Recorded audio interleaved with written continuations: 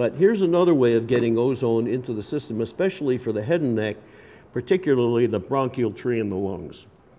But from there into the entire rest of the body as well. And uh, the easiest way for us to do that is to inhale what we call ozonides.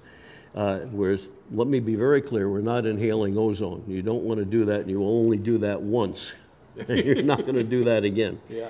So what we're going to do is here is very simple. We're going to bubble ozone, gas, and oxygen, but again, this time through oil, an organic oil like olive oil, rather than water. And how much would you fill it up? How, how important is it It's not critical. I would fill it enough to be sure the stone is covered. Just enough? That's all, for a couple different reasons. I never understand. Let me just go in between. Why do they make those containers wide in the bottom and small up on top? They should be actually. It makes, you are absolutely right long. when you're talking about water, because the longer the traverse, Yeah. the more rapid uh, ozone's going to be absorbed in the water. But as, when it comes to oil, it's an entirely different situation, because the oil is so reactive with the ozone, after a millimeter of travel of that bubble coming out of the diffuser stone, there is no ozone left. But if the stone isn't covered, what are you going to be getting out Yeah. here? You're going to be getting ozone So raw. if you can knock it or. Yeah, so you, you must be very particular about this. So just enough oil to cover the stone is all we really need. Mm-hmm. Another reason not to use too much oil is when you start out, you are looking to be generating ozonides to inhale. That is the reaction products of ozone with the oil, the mm-hmm. substrate oil.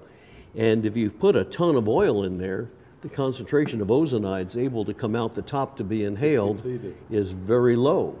So the less oil you've got, the more ozonides you're going to be able to generate. And I would say, when you first do this, if you're starting with fresh oil here, you really can kickstart things by taking a little bit of ozone oil, which is pretty much straight ozonides, and Yeah. putting a small amount of that right in here because this is concentrated ozonides and that will mix with the organic substrate oil. So you start at a higher level of ozonides in there to begin with. Ah, okay.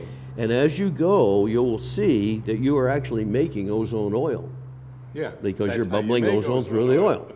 And as time goes on, you're, you're going to find that it gets more and more viscous and you start to get more bubbling. So you keep the oil in it for several uses. I would say it usually at least is a week, and we use it quite consistently. So by the end of the week, it's getting so viscous, you're starting to get bubbling. If you get enough bubbling, it comes out here and goes up your nose. Yeah. That's a mess.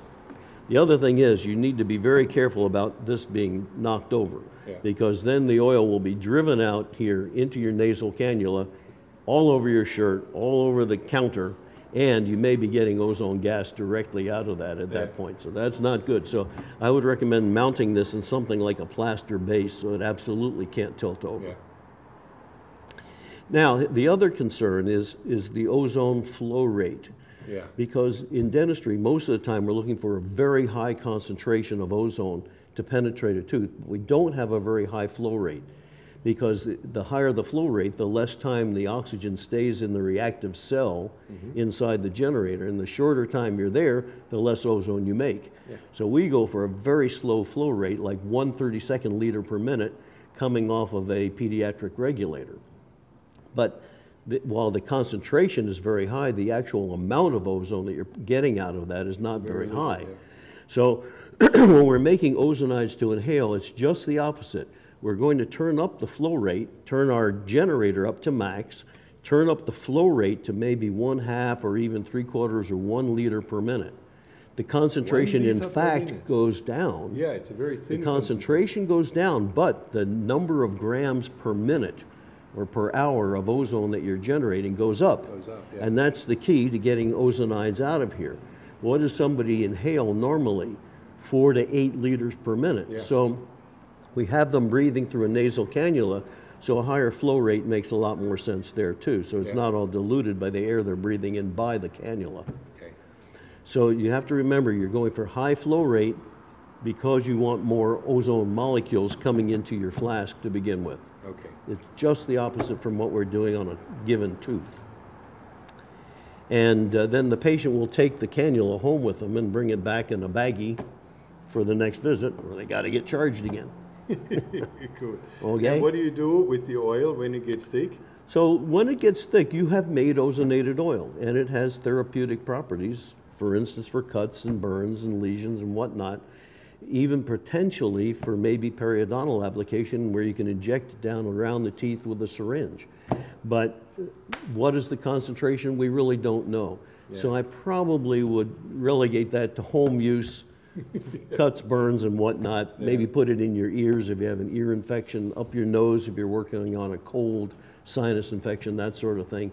Probably wouldn't use it in the office. Yeah. And uh, most of these oils that you get are of varying consistencies. This one happens to be a little bit less stiff. Yeah. Some come out almost like chapstick, Yeah. Yeah. pomade. And you, it's difficult to put those in a syringe in order to inject them around the teeth. Yeah. So there they have to be diluted with some of the base oil to make them less viscous in order to be more useful, or they need to be warmed slightly in Yeah. order to make them more flowable. Don't they lose? You have to really ozonides? war, yes, if you overheat an oil, but you really have to overheat it significantly, way past what you'd be comfortable with, Mm-hmm. Uh, like putting them in a real hot car for a while before you Oh, start to really, hot. not, yes. Not room temperature. No, no, no, no. You know, sometimes my office is like a ro- hot car. you know? Well, if it's hot enough, maybe you're starting to take a hit on the ozonides. But we, we will normally keep our uh, ozone oils in the refrigerator or even the freezer anyhow. But I like the idea of putting some in in the beginning, which means you get That speeds up the process. therapeutic effect, Yeah, and it helps faster. with ozonating the oil. So the oils are very useful, and in fact, the oil we make here, you probably could use cleaning your teeth with uh, every day.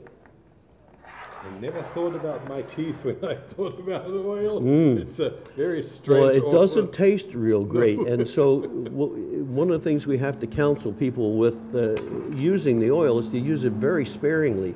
The least little bit, just a sheen of it, is plenty. Yeah. And uh, when you do it that way, it has kind of a nutty taste. It's not really nasty.